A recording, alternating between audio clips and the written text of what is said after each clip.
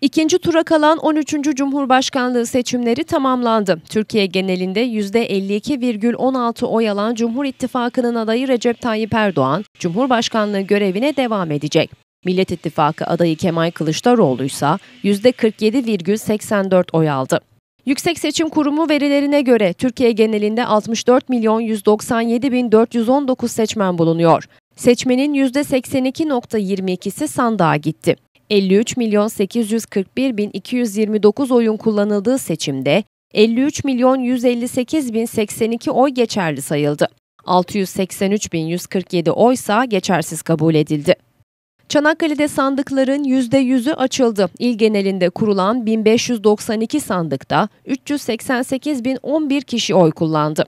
383.490 oyun kullanıldığı Çanakkale'de 4521 oy geçersiz sayıldı.